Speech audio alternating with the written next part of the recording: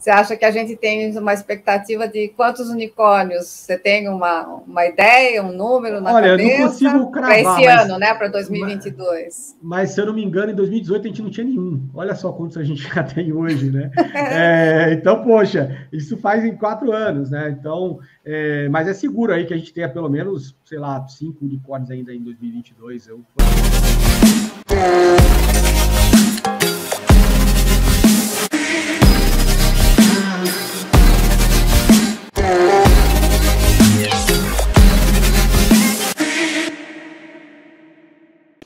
Olá, pessoal. Eu sou Regina Crespo.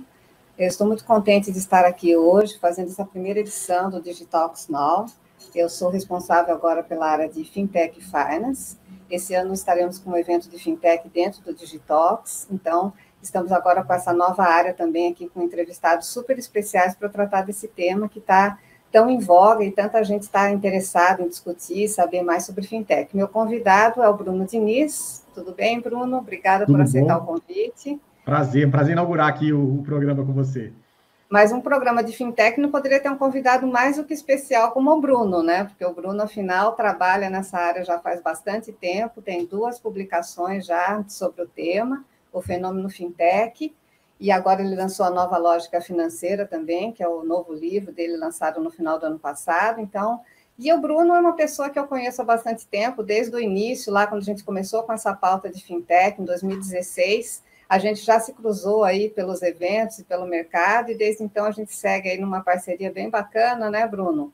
Sim, Tratando sim. desse assunto e, e sobre esse tema, né? Então, eu agradeço mais uma vez você estar aqui conosco hoje e aproveito aqui para perguntar, então, Bruno, quais são as suas né, motivações, as suas curiosidades e seus interesses que te levaram aí para essa área né, de, do mercado financeiro?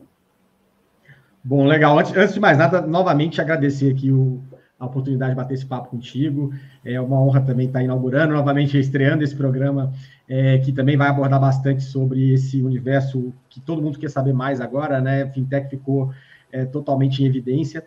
Mas retomando um pouco né, das minhas motivações, eu, eu sou um cara que veio também do mercado financeiro, né? Então, é, o que acabou me trazendo para esse, esse mundo é, de inovação foi o passar do tempo foi também, acredito, uma questão de timing muito legal, quando a gente começou a ter a discussão, o ecossistema de startups sendo, é, dando seus primeiros passos aqui, é, somente na cidade de São Paulo, por volta de 2010, 2011, é, foi quando eu comecei a me envolver bastante, isso ainda trabalhando em banco, né? E, uhum. e acaba que hoje é uma paixão muito grande para mim é, é, esse tema. Já era na época que eu trabalhava no mercado financeiro tradicional, em banco de investimento, então, assim, Uh, hoje isso só aumenta, né? E como você falou, tem as minhas publicações uh, que também já é, são fruto também dessa, dessa paixão minha por essa área, é, os artigos também que eu escrevo nas minhas colunas, enfim, todo o trabalho que eu desenvolvo através da minha consultoria é, se soma aí é, e os eventos que a gente já, já, já, já se trombou em vários deles é, como parte dessa, dessa motivação. Legal. Bom, eu acabei nem falando um pouquinho do seu currículo, então vou dar uma introdução agora, né? O Bruno, ele é o sócio da Spiralen Innovation Consulting e também ele é diretor da FData, né, da, para a América Latina, que é o, o, um órgão de Financial Data and Technology Association que estuda esse mercado, né.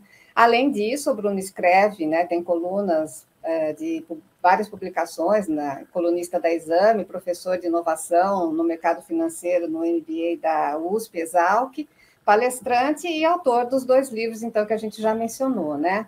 Bom, com essa carreira toda, né, Bruno, uma carreira aí de perto de 15 anos, né, sempre ligada no mercado financeiro, na inovação, como você mesmo mencionou, eu queria que você falasse um pouquinho, né, é, da trajetória mesmo, até você chegar nos livros, né, que na verdade hoje já são best-sellers, aí muitas pessoas estão consultando, querem saber sobre o tema, procuram, né, os seus títulos, e, e, como que você fez essa pesquisa, né, como que você chegou, né, é, né, nessa, nessa, nessa forma tão, tão fácil, né, de, das pessoas entenderem o que, que é o fenômeno fintech e como que a lógica financeira está mudando tanto nos últimos anos.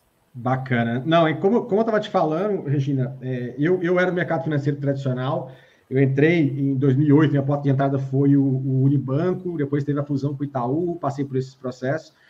É, depois, de fato, fui trabalhar em uma instituição menor é, de banco de investimento, que chama, chamava Indusval Partners na época, é, hoje chama Reuter, a instituição.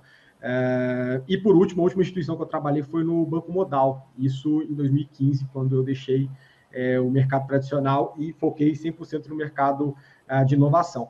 Mas, como eu disse antes disso, né, quando a gente pega ali 2010, 2011, eu já frequentava a cena de startups aqui, então, é, conhecendo as pessoas desse ecossistema que estava se formando, ainda eram pouquíssimos investidores, também não tantas startups existiam é, naquele momento, é, mas com o passar dos anos, né, aquele envolvimento e dando mentoria para startups e, e, e me envolvendo cada vez mais, quando deu por volta de 2013, eu descobri que tinha um movimento é, fintech rolando lá fora, nessa né, coisa nova que algumas que ninguém ainda se chamava, se intitulava fintech, é, mas era um movimento de verticalização, né? A gente tem as startups como um todo, e aí a gente começa a entrar em startups voltadas para educação, para finanças, para agro, e aí eu falei, poxa, eu quero me envolver mais com isso.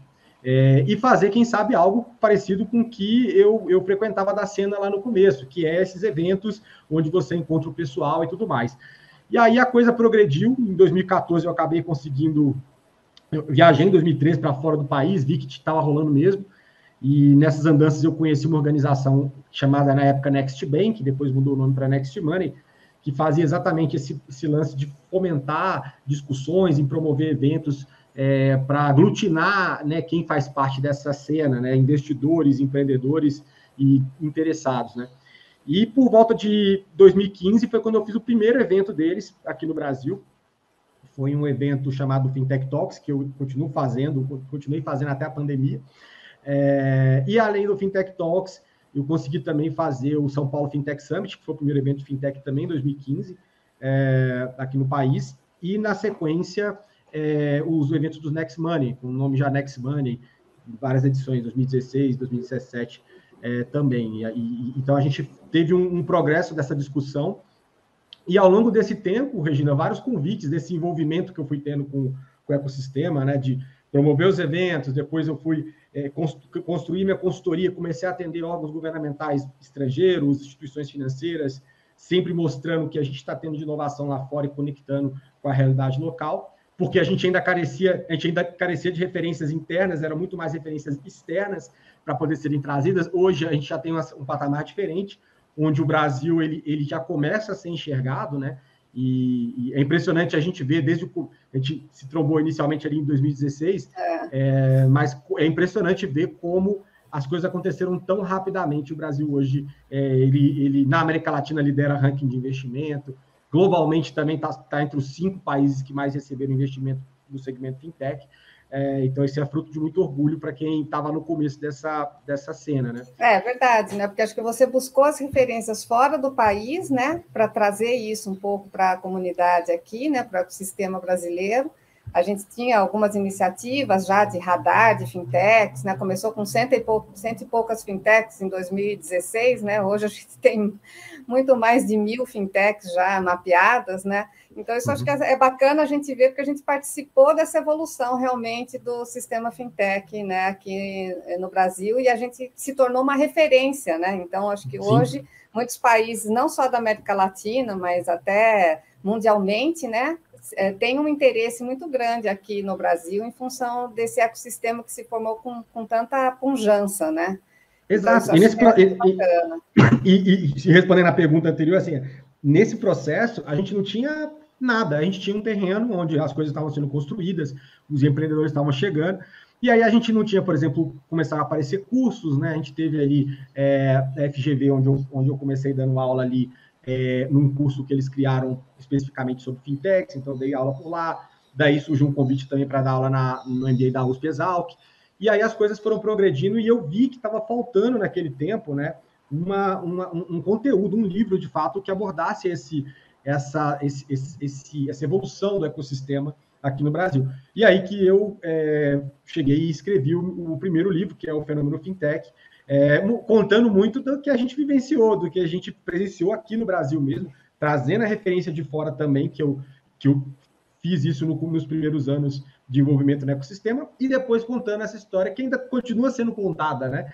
É, e ali eu tirei essa referência. E o segundo livro, como você falou, né, um saiu em 2020, no comecinho, o outro saiu no final do ano passado, é, e aí esse último agora contando sobre é, é esse próximo passo que a gente está tendo dentro do ecossistema é, fintech, que deixou a coisa muito mais ampla, né? A gente começa a ter uma alteração do que a gente chama de lógica financeira, né? uma nova lógica financeira, que a lógica antiga era consumir produtos e serviços financeiros com quem levasse o rótulo de provedor de serviços financeiros, sejam eles bancos ou fintechs.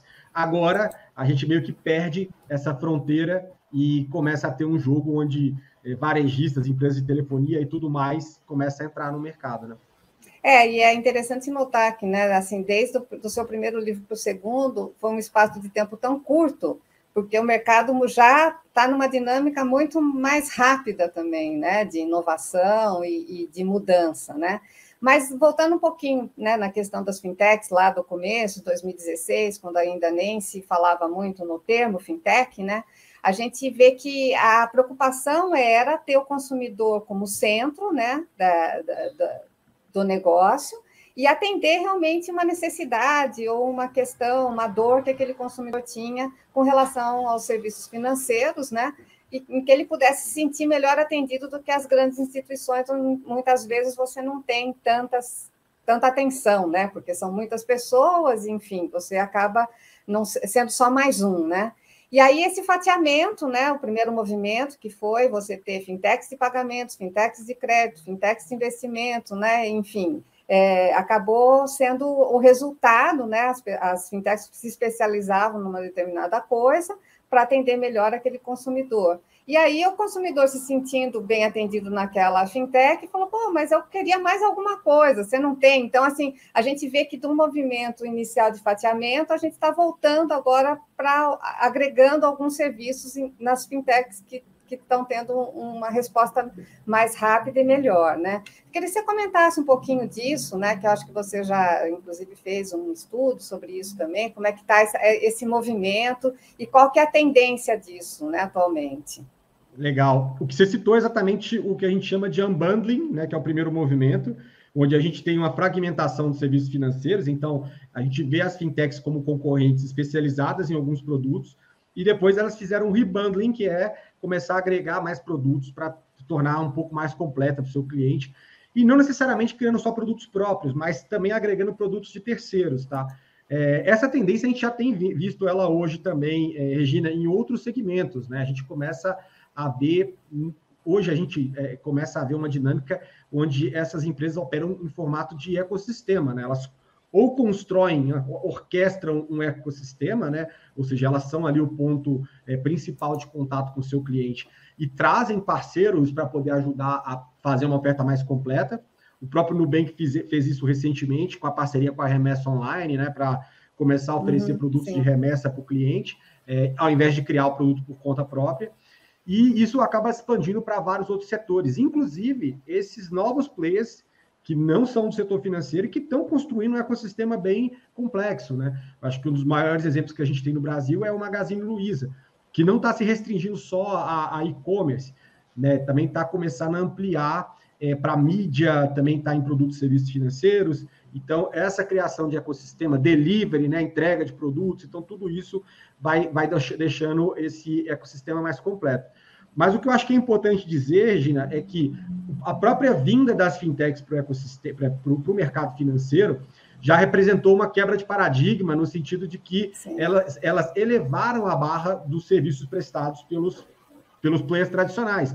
Porque aí o banco, que durante muito tempo não via tanta concorrência, os grandes bancos, né, é, e era meio que prestava um produto com pouco foco no, no cliente e até muito, é, é como eu posso dizer, massificado, eles começaram a falar, pô, pera aqui, a gente precisa se mexer, porque senão o nosso cliente vai para o concorrente. Então, isso ele eleva a barra, né?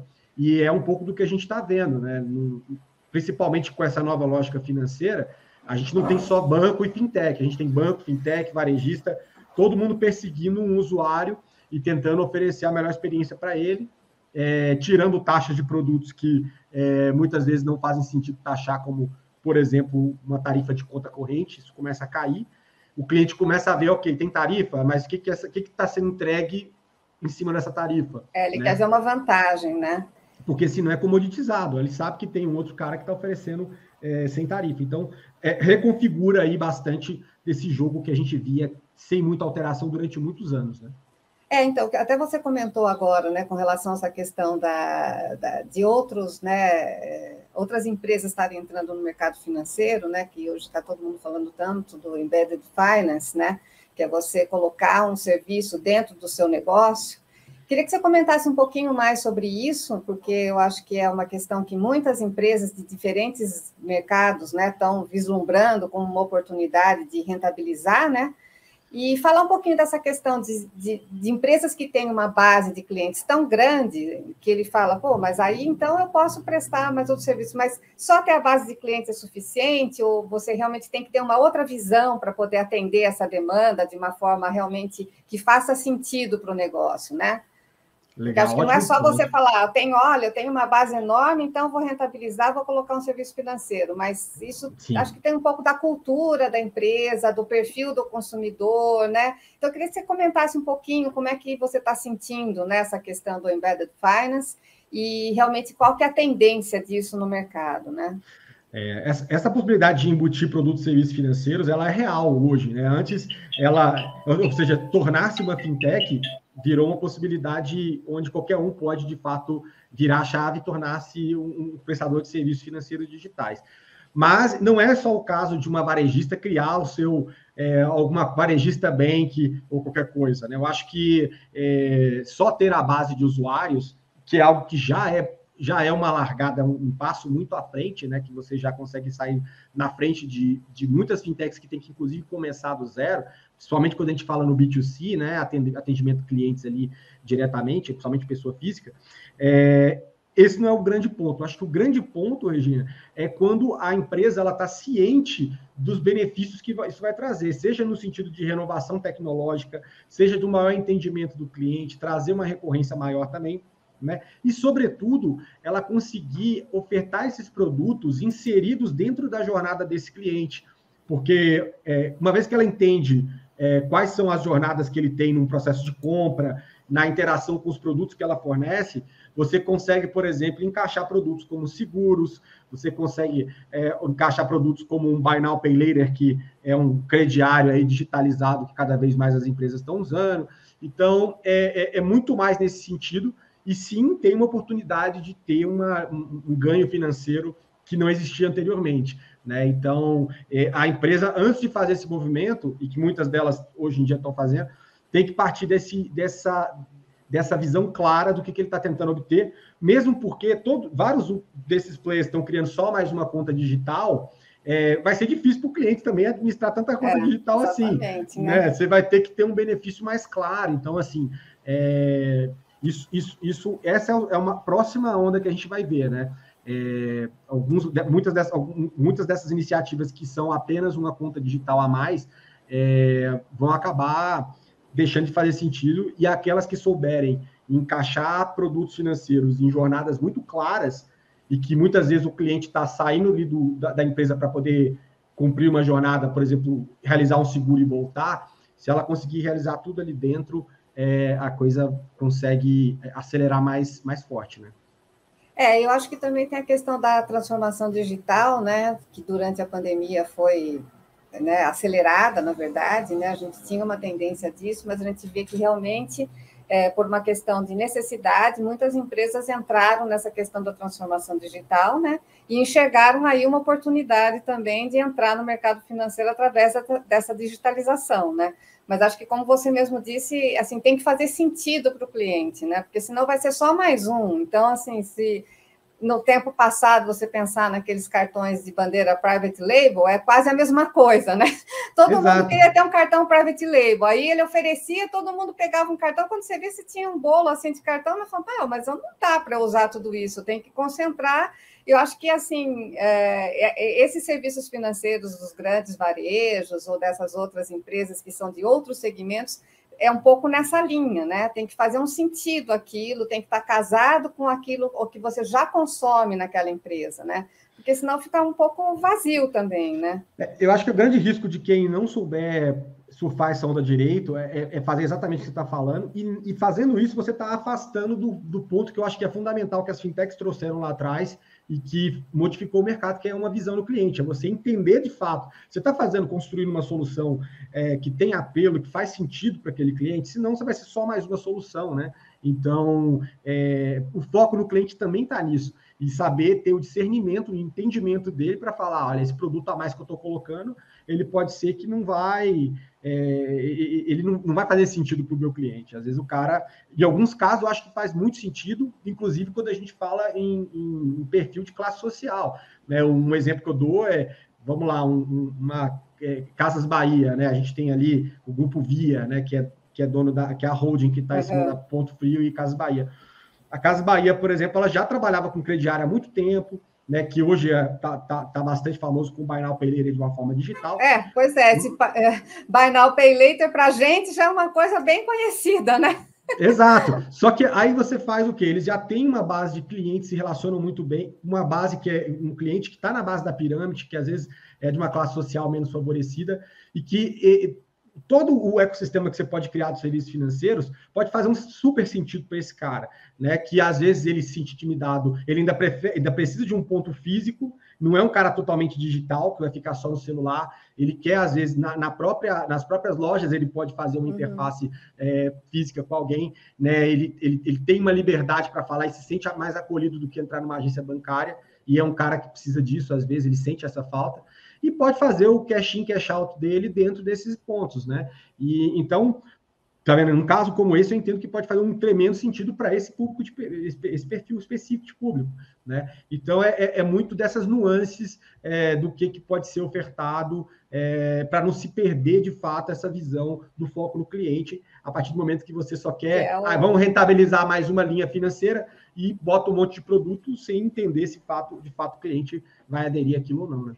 É, porque eu acho que assim faz sentido você ser fintech quando você tem esse propósito, né? Você é. propósito de atender uma necessidade do cliente de uma forma mais eficaz, que seja num custo mais eh, vantajoso. Então, acho que assim é, a, a razão de ser da fintech é um pouco essa, né? Ter o cliente no centro, né? Exatamente. Mas pensando um pouquinho nessa questão até de, de, né, de, de das fintechs atenderem essas demandas e algumas empresas estarem querendo colocar, inserir esses serviços nos seus negócios. Queria que você comentasse um pouquinho também sobre essa tendência né, de Bank as a Service, Fintech as a Service, né, como é que isso está funcionando e se realmente né, essas plataformas que oferecem toda uma estrutura já estão viabilizando e estão fazendo a coisa acontecer com, de uma forma mais rápida e mais eficiente. É, esse, essa é uma fronteira que eu entendo que abriu todas essas possibilidades que a gente está vendo, né? Da nova lógica financeira mesmo, é propiciada a, a, através de players que têm a expertise tecnológica, têm expertise regulatória e resolve vender essa capacidade né, de prestar serviços financeiros e, e produtos é, como se fosse um serviço para que é, uma empresa possa incorporar isso. Né? Então, a gente vê vários casos surgindo, acho que é um dos mercados mais promissores que a gente tem hoje. É, mas é aquilo, né? Assim, a gente vê nessa disputa é, tanto fintechs que nasceram do zero para isso, é, como também instituições financeiras. Muitas das instituições de médio porte estão nesse jogo, né? A gente olhando para cá, a gente vê o ABC está nesse jogo, original, o BV, né? É, e agora a gente começa a entrar num novo momento onde as grandes instituições também estão olhando para isso. O Itaú anunciou recentemente, né, é, que eles, o produto deles batizaram de Itaú as a Service. Então, eles também estão entrando nessa competição, é, e é uma possibilidade que eu acho ah, totalmente importante para que a gente veja o florescer dessas novas soluções.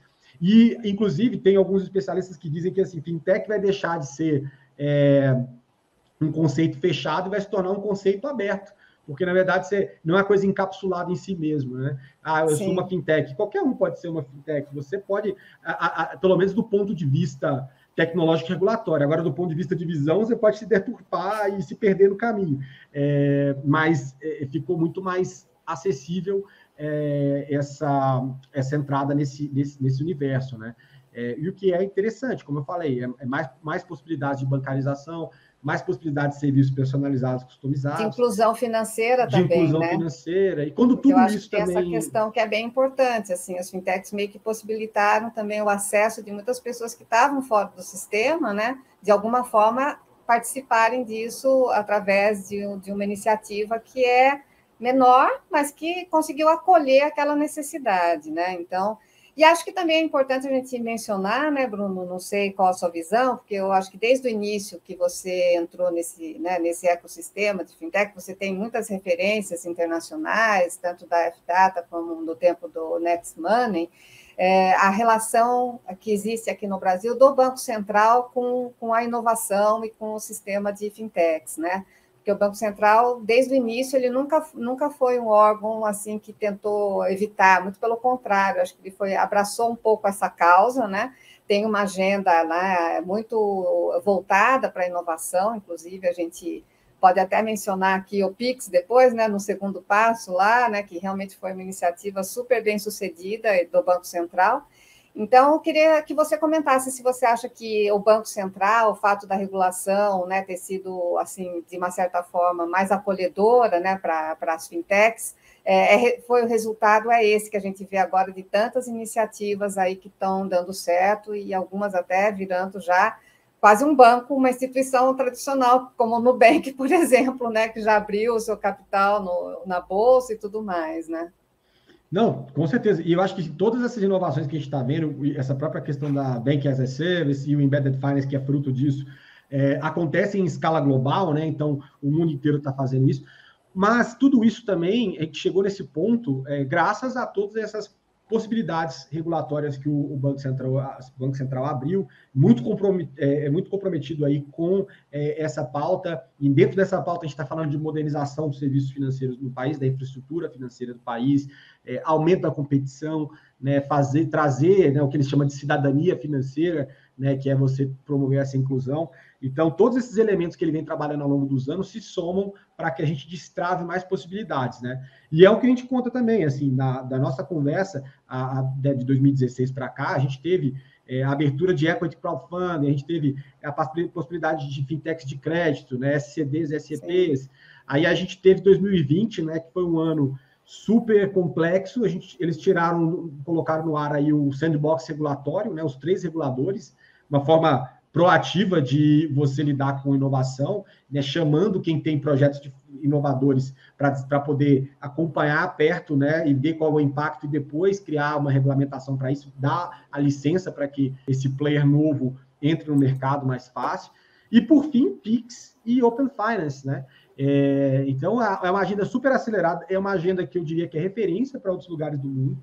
Eu tenho é, acompanhado e feito alguns estudos aqui, até em América Latina, e é impressionante como o pessoal às vezes coloca um espaçamento assim de que 3, 4, 5 anos para frente vai acontecer. E hoje está tudo muito assim, né, Regina? Está tudo Sim, muito veloz.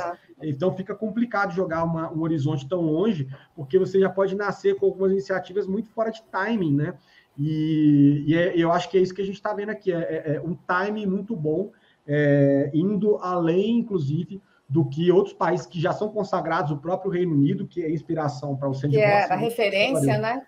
referência do Open Banking deles, eles ainda não, eles ainda estão para dar esse próximo passo para ter um Open Finance tão completo como que a gente tem aqui. É, então, assim, eu, eu posso dizer que o Banco Central teve um papel importantíssimo. CVM também, SUSEP também, também fazendo iniciativas, mas o Banco Central tem um, um número de iniciativas muito interessante e, e vem batendo aí numa transformação e sendo referência para o resto do mundo também. Mas é, eu fico pensando o seguinte, Bruno, eu queria até a sua opinião sobre isso, né? O Pix foi um, um, sucesso, né? Uma iniciativa super bem sucedida, porque todo mundo viu uma vantagem prática naquilo, né?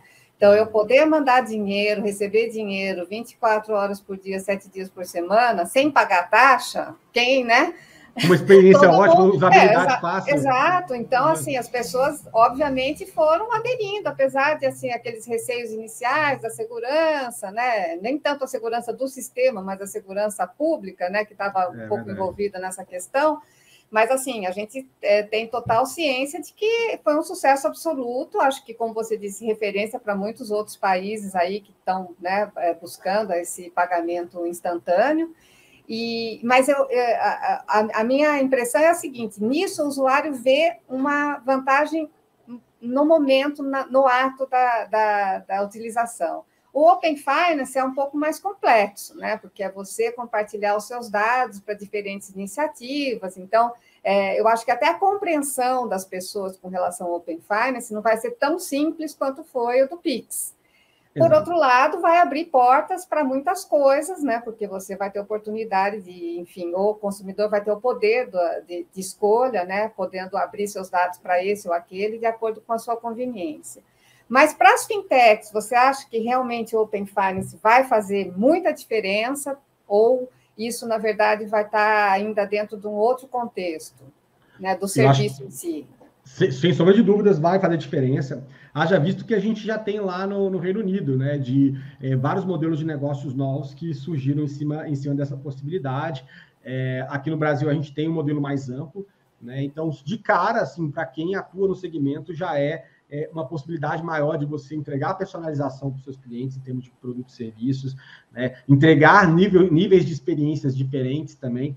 Então a gente está caminhando para uma realidade muito mais ampla quando a gente coloca o Open Finance como ferramenta né, na mão dessas, dessas fintechs e também das instituições tradicionais. O que eu falo é o seguinte, né, assim, como você bem citou, o Pix, né, ela, ele também é uma, tem uma infraestrutura por baixo do Pix, né, que é o sistema de pagamentos instantâneos, o SPI. Em cima disso tem esse produto Pix, que é, que é muito objetivo, como você falou, e ele é muito, assim, é, não tem o que falar, né? Você é, não pagar nada numa transação entre, entre pessoas, qualquer dia da, da semana, é, com uma, uma, experiência fácil, como se estivesse é, botando ali o número do celular, então, é, ou, o e-mail e tal, é super fácil, né? Sim. Agora, a experiência a gente, é muito boa, né? A experiência é boa. Agora, o Open Finance, ele pode ser encarado como uma espécie de infraestrutura mesmo, é como se fosse, e o exemplo que o Otávio Damas, diretor do Banco Central, usa muito, é como se fosse uma internet, né? A internet, assim, ela é aquela infraestrutura que lá nos idos de 94, para muita gente, internet era e-mail, internet era o buscador, era o KD, o Alta Vista, e depois a internet virou é, é, o que move, o que está permitindo que a gente consiga bater esse papo aqui agora é, para essa entrevista. Então, assim, é, expande muito. Então, essa possibilidade né, dessa essa internet nova ali é, para os serviços financeiros, é, capacitando o compartilhamento de dados, e criando essas ferramentas. É uma ferramenta, assim como a internet foi, para que os empreendedores criem muitas coisas interessantes em cima disso, né? Então a gente tem aí sim um impacto que eu acredito que vai ser bem importante é, e que se soma ao Pix, porque o Pix também vai poder, vão poder realizar operações é, utilizando essa infraestrutura do Open Finance para é, conduzir um, uma transação de Pix, né? Fazer uma, uma, uma, uma transação instantânea via Pix nesse formato, né? Uma iniciação. Então, então assim, é, é, é, é, uma, é um novo horizonte e cada vez que a gente abre esses novos horizontes, é, desbloqueiam possibilidades muito interessantes para o consumidor e, sobretudo, para o empreendedor que vai criar e, uma vez criados esses modelos, é que o cliente vai conseguir usufruir dessa possibilidade nova, né? É, então, na verdade, essas, essas inovações abrem novas frentes até para os empreendedores também, né? Sim, de uma certa dúvida. forma, né? Verdade. E verdade. aí, assim, pensando nessa questão da digitalização, que aconteceu de uma forma mais rápida e acelerada, né? Durante a pandemia, todo mundo hoje no Brasil também tem o seu celular, né? Que, que dá acesso a muitas coisas, né? Não só de serviços financeiros, mas enfim, né? É, ao serviço financeiro também, né? Eu fico pensando e, e, processos que outros países já passaram, né? Que, enfim, é a questão do dinheiro, né? Como Sim. que você enxerga essa questão do dinheiro? Né? O dinheiro físico a gente sabe que tem uma importância enorme, porque existem o Brasil é um país também gigante, não existe né, um acesso fácil em todas as áreas do país, então o dinheiro físico é, é uma coisa que não vai estar. Tá eu, eu acredito, né, do meu ponto de vista, que não vai ser no curto prazo que isso vai acontecer, mas a gente está caminhando aí para uma tendência da digitalização total do dinheiro. Países aí, né, nórdicos, já estão num processo bem né, avançado nesse sentido, né? Como que você uhum. enxerga isso? Você acha que isso vai influenciar de alguma forma todos os serviços financeiros ou o dinheiro vai ser uma questão tratada um pouco à parte? Não, é, a gente tem, como você falou, né, um período de transição. É, o dinheiro em espécie ele continua existindo. A gente tem, é, a gente também tem que dar, se dar conta que a gente tem múltiplas realidades aqui no Brasil, né? É, assim, são vários países aqui dentro de um país só, então é, a gente tem locais onde a dependência por dinheiro em espécie ainda é, muito grande.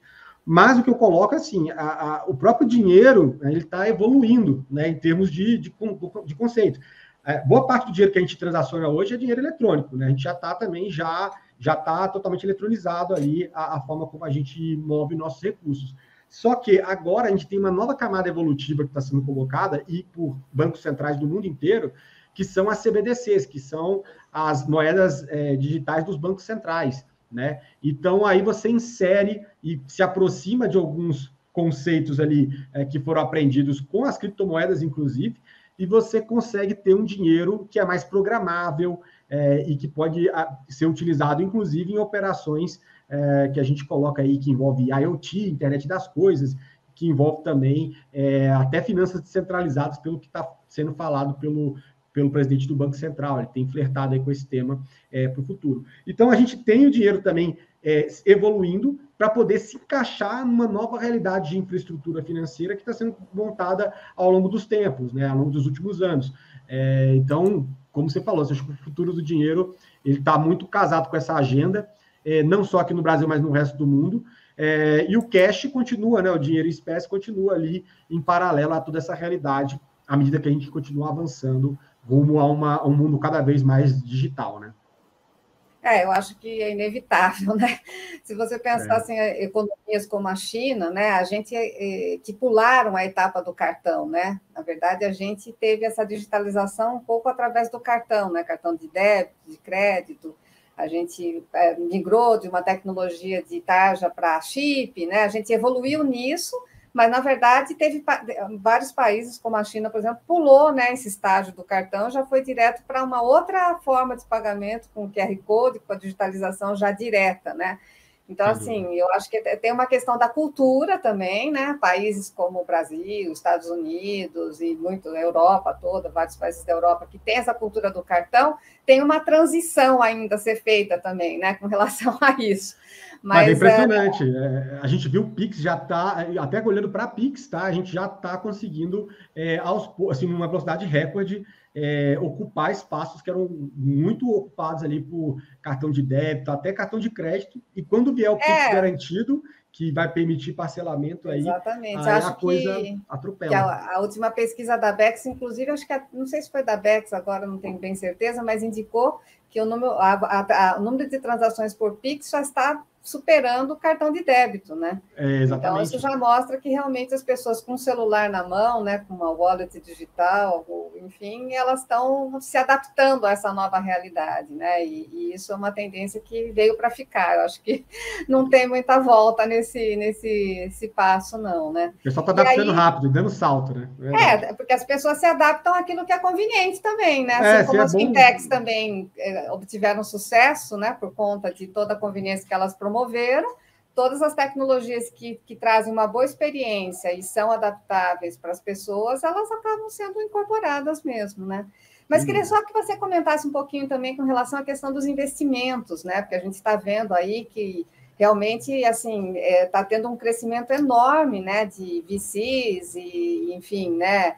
De investidores de todos os tipos, né? Desde rodadas, né? Seed e outras rodadas aí e as, as fintechs estão arrecadando muitos investimentos, né? Então, eu queria que você comentasse um pouquinho sobre isso, tanto do ponto de vista do investidor, né? Qual é a grande, né, atrativo, né, para essas empresas terem os seus fundos de investimento, ou as pessoas fazerem investimentos nesse tipo de, de, de negócio, quanto o lado das fintechs também, né, estarem evoluindo mais rapidamente com, com tanto dinheiro aí rolando no mercado, né? Exato. É, vamos do ponto de vista do investidor primeiro, né? Quando você olha no mundo para onde você coloca dinheiro para ter retorno sobre, né, em termos de, de capital, você, você tem que ver as oportunidades, né? E quando você olha para a Europa, por exemplo, a gente já tem uma população é, que está envelhecendo mais, a gente também tem um cenário de muita coisa que também é, já tem uma certa infraestrutura bem resolvida, mas quando a gente olha para a América Latina, por exemplo, a gente tem um mundo de coisas para resolver, porque tem muito problema aqui para ser resolvido. Né? Então, essa é uma premissa básica quando alguns investidores estão olhando. E por que, que o Brasil está ganhando mais relevância? Né? Porque quando eles olham para cá, eles veem um território que já está ficando muito bem resolvido do ponto de vista tecnológico, né? É muito, muito bem resolvido do ponto de vista regulatório. Acho que tecnológico ainda tem algumas questões para poder avançar, como, por exemplo, a questão do, do 4G, agora indo para o 5G. A gente não tem uma cobertura ainda tão, tão boa, mas que já permite avanços, né? E a gente e aí o investidor olha, pô, tanta coisa para ser resolvida. E esse ecossistema que tem essa infraestrutura e, essa, e essas normativas que já tornam o ambiente mais claro, mais, mais seguro do ponto de vista é, de começar um, um, negócio, então já começa a trazer dinheiro. E olhando as cifras, né, quando a gente olha, por exemplo, investimentos em fintech na, na, na América Latina, em 2017, 2018, a gente teve 690 milhões de dólares investidos na América Latina inteira, tá? Sim, é muito Aí, quando, dinheiro, né? Mas o interessante é 690 milhões para a América Latina inteira. Quando a gente foi para 2019, a gente bateu 1,1 bilhão de dólares só no Brasil. Pois é. 2020, a gente passou para 1,9 bilhões de dólares. E agora, no último ano, 2021, 3,7 bilhões de dólares investidos em fintechs aqui no Brasil. Então, está dando salto, né? E, assim, é, como eu falei, muitas oportunidades. O mercado né, internacional está direcionando recursos para cá. E quando você olha a América Latina, o Brasil é um dos países que está mais bem é, resolvidos aí para que é, tenha esse aporte. E também a, a, maior economia da região, tem uma população de 220 milhões de habitantes, então é, é um, um, terreno muito interessante aí para o investidor. E do ponto de vista das fintechs estarem recebendo esses aportes, também tem acelerado esse tá jogo. Está fazendo delas, né? acelerado né? o crescimento, né? Na verdade. Tem acelerado o crescimento, tem permitido com que elas joguem esse jogo de uma forma mais, mais rápida, mais intensa, né? Porque é aquela coisa, assim, as oportunidades que existem, elas estão aí para todo mundo ver. As outras fintechs todas estão aí vendo. Então é um jogo de quem consegue ser mais rápido. E para poder ser mais rápido, você precisa de né, receber injeção de capital. Algumas estão conseguindo avançar bem nesse sentido. É, e aí agora a, gente viu um terreno de, de guerra né, mais, mais forte. É, quando eu comecei a frequentar o sistema de startups aqui em 2010 é, é, é, em São Paulo, a coisa assim, tipo, muitos poucos VCs, muito pouco investidor, investidor sempre com deals muito ruins, é, querendo 50% do seu negócio para botar, sabe, qualquer coisa. Então, é, acho que houve um amadurecimento e agora né, ou há uma concorrência mesmo, uma disputa muito grande entre os fundos para poder pegar e, e, investir numa startup. Né? Então, quem tem uma proposta boa com um empreendedor bom, vai fazer fila aí de investidores para botar dinheiro nos projetos. Né? Quer dizer, vamos ter muitos unicórnios, então, aqui nos próximos anos, né? Sem sombra de dúvidas. Eu, eu, eu acredito nessa tese. A gente tá, tem todas as condições para isso, viu? Você acha que a gente tem uma expectativa de quantos unicórnios? Você tem uma, uma ideia, um número na Olha, cabeça? eu não consigo cravar. Para esse mas, ano, né? Para 2022. Mas, mas, se eu não me engano, em 2018 a gente não tinha nenhum. Olha só quantos a gente já tem hoje, né? é, então, poxa, isso faz em quatro anos, né? Então, é, mas é seguro aí que a gente tenha pelo menos, sei lá, cinco unicórnios ainda em 2022. Eu poderia falar isso com uma certa tranquilidade. Isso se a gente não vê uma escala, uma, uma escala aí, uma escalada da, desses conflitos internacionais. Já tem fundos também que já estão começando a tirar um pouco o pé do acelerador, né? Por causa de conjuntura macro mesmo, mas, mas se é macro, está ruim no mundo inteiro. Então, é, de qualquer jeito, é a gente ainda continua da, sendo... do nosso Exato. ecossistema, né? Pois então, é. assim, diante de tantas mudanças aí, né, que a gente está vendo no sistema financeiro, no mercado financeiro como um todo, né, não só é, para as fintechs, mas também para as grandes instituições, né, que estão aí vindo cada vez mais rapidamente, né, qual seria o seu conselho aí para os profissionais e para os empreendedores que estão interessados em entrar no mercado financeiro? Tem espaço? É só ah, sim, sim. tendo uma boa ideia, você tem muita chance. Como é que você está enxergando aí? Que, que conselho você daria para quem está nos assistindo, né, interessado em, em, dar um passo aqui dentro desse mercado financeiro? É, eu entendo, Regina, que a gente está passando por um momento novo de transformação do que é exigido em relação ao novo profissional do mercado financeiro, tá? A gente está passando por uma renovação em termos de habilidades que são esperadas. Né? Eu acho que tem uma. Seja você querendo entrar como empreendedor, tem todas essas ferramentas que eu coloquei para você. Capital também não está é, não tá sendo um problema, visto que a gente tem nunca teve um momento tão bom em relação a isso. Mas o que eu falo que, ao mesmo tempo que a gente está tendo no mercado financeiro tradicional um enxugamento de vagas, né, e é muito claro, a gente vê aí é, bancos aí diminuindo agências e, e, fazendo uma série de cortes, estão é, surgindo possibilidades, até mesmo em função dessa nova lógica financeira. Porque pensa comigo, se uma varejista, uma empresa de telefonia, qualquer outra empresa vai abrir uma divisão de serviços financeiros, ela vai precisar de profissionais que entendam de finanças, né, e que também estejam antenados em relação ao que está acontecendo com tecnologia. Né? Então, o, o, perfil aí é muito de saber combinar essa, essa, essas skills, né? E se puder entender um pouco mais de programação também, eu acho que também é um, é um, é um Acho é um que mais, ajuda é um muito, plus. né? É verdade, É verdade. É, você tem até um, uma parte do seu livro que você comenta sobre essa questão do perfil do, da, né, das pessoas que estão atuando nesse segmento, como isso está mudando, e de uma maneira geral, né? Porque você pensar a inteligência artificial também aplicada a esse mercado, é. né? Toda análise de dados, então assim as coisas começam a convergir, na verdade, né? Toda a tecnologia acaba convergindo. Então, quanto mais você tiver antenado aí dentro das novas tecnologias, melhor você vai conseguir se posicionar no mercado de trabalho como um todo, não só no mercado financeiro, né? E compreender então, todos esses conceitos também, né? Uma vez você compreende o que, que, quais são as possibilidades travadas por cada uma dessas inovações, mais chances você tem de tirar proveito disso, seja você empregado, seja você empreendedor, dentro desse novo mercado financeiro que a gente está encarando. Né? É isso que a gente nem entrou ainda aí no, na, no mundo cripto, no metaverso, é, né? tem... que, é, que, são as próximas tendências que vai ficar para uma outra conversa. Exatamente. Estamos Bom, Bruno, eu queria agradecer demais a sua participação aqui. Não sei se você quer fazer algum fechamento, né? Assim, é, enfim, é, dentro da, da, sua expertise aí, né? E eu, falar para o público o que, que você recomenda, quais são os seus. A, qual é a sua visão das próximas tendências? Bom, antes de mais nada, agradeço aí pela oportunidade. Né, é, deixando também aqui meu, meu, meus contatos, acho que eu sempre estou falando desse tema, seja no meu LinkedIn, né, só procurar Bruno Diniz lá, ou também nas minhas outras redes, Instagram, Bruno, arroba Bruno e de Escola V de Vida Diniz, é, no Twitter também. É, mas o que eu falo é o seguinte: é, a gente hoje, Regina, está passando por um, talvez uma, um momento de maior transformação do mercado financeiro que a gente já viu. É, você está nessa aqui, você vê que o carro está acelerando. Né? A coisa está vindo, vindo, vindo, vindo. O que vai vir daqui para frente, eu, eu entendo que vai, é, pela velocidade, vai conseguir aí é, alterar muito o tabuleiro de, de jogo que a gente está vendo hoje, inclusive tirando, mudando, reconfigurando ali a forma como alguns que sempre tiveram no, no, topo, podendo dividir espaço com outros caras surgiram agora. E a gente já vê isso agora, né? Com o Nubank mesmo, que já foi para a Bolsa, né? Quando ele estreou, valendo mais do que o Itaú, né? É, naquele momento. Então, assim, eu acho que a gente está nesse, nesse momento, nesse ponto de inflexão.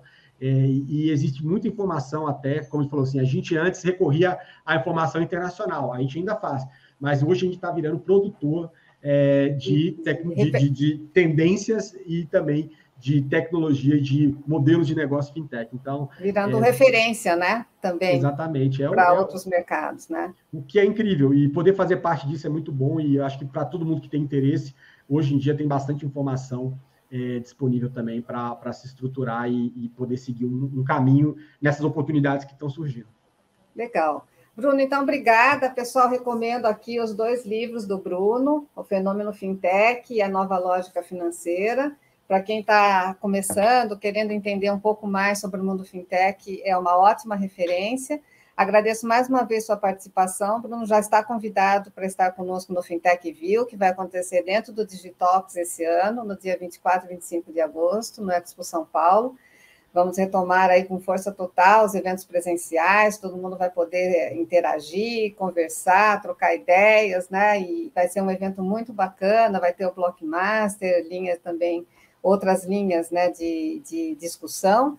Então, estão todos convidados para o Fintech View, para o próximo Digitox Now, que teremos novos convidados. Agradeço também a Digitox pelo convite, né, de me, me, proporcionar essa oportunidade de trazer o mundo fintech finance para dentro, né, desse evento tão já conceituado e tão já respeitado pelo mercado, tá? Então, Bruno, obrigada mais uma vez, obrigada a você que participou conosco. É, as nossas redes sociais estão aí disponíveis, por favor, nos sigam. e traremos mais novidades no próximo Digitox Now. Obrigada. Foi um prazer, um abraço, gente. Tchau, tchau. Tchau.